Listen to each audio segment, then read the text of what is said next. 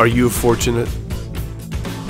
The members of the Fellowship of Fortuna are known as the Fortunates. They are an active and involved bunch. The Fortunates have several things in common.